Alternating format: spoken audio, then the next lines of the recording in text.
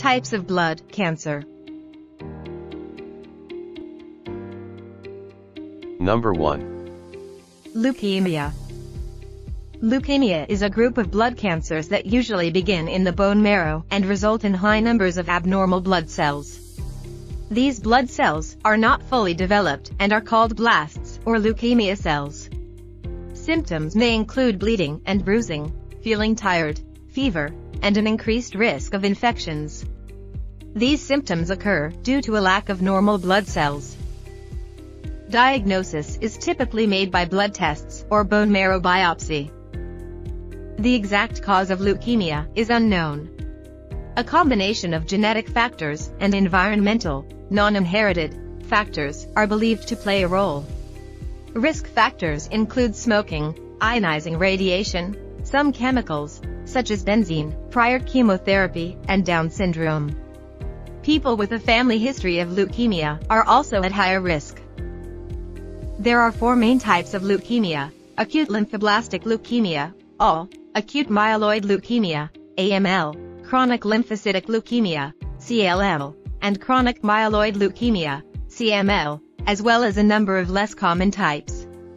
Leukemias and lymphomas both belong to a broader group of tumors that affect the blood, bone marrow, and lymphoid system, known as tumors of the hematopoietic and lymphoid tissues.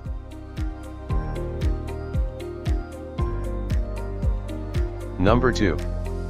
Lymphoma. Lymphoma is a group of blood cancers that develop from lymphocytes, a type of white blood cell.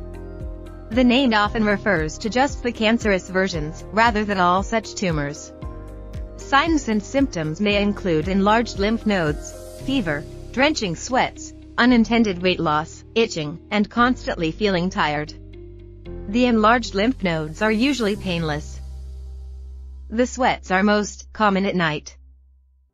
There are many subtypes of lymphomas. The two main categories of lymphomas are Hodgkin's lymphomas, HL, and the non-Hodgkin lymphomas, NHL. The World Health Organization, WHO, includes two other categories as types of lymphoma, multiple myeloma and immunoproliferative diseases.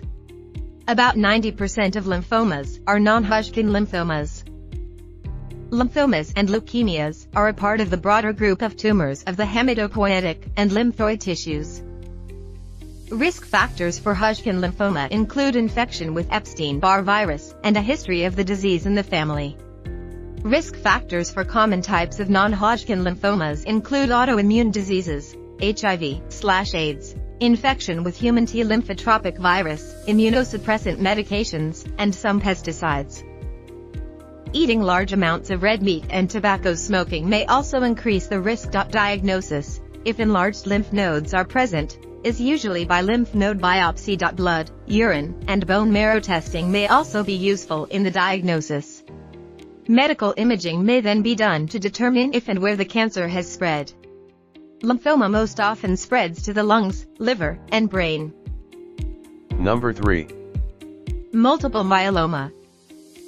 Multiple myeloma, also known as plasma cell myeloma, is a cancer of plasma cells, a type of white blood cell typically responsible for producing antibodies. Often, no symptoms are noticed initially. When advanced, bone pain, bleeding, frequent infections, and anemia may occur. Complications may include amyloidosis. The cause of multiple myeloma is unknown. Risk factors include obesity, radiation exposure, family history, and certain chemicals.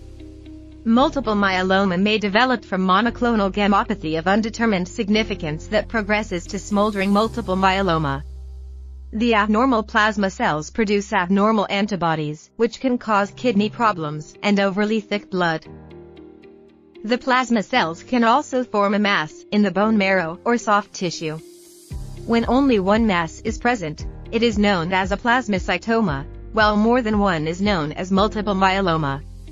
Multiple myeloma is diagnosed based on blood or urine tests finding abnormal antibodies, bone marrow biopsy finding cancerous plasma cells, and medical imaging finding bone lesions.